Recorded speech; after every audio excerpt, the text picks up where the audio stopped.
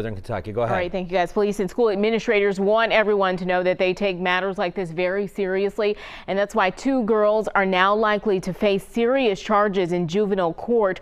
Edgewood police say last night one girl falsely accused another girl of planning a school shooting during lunch on Monday or Tuesday, and police say that the girl's false allegation was then shared on social media.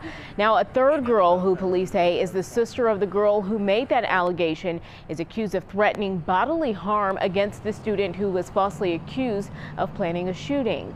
Police think that this all stems from an outgoing dispute and that there is no evidence that the accused student made any threats to Dixie Heights High School.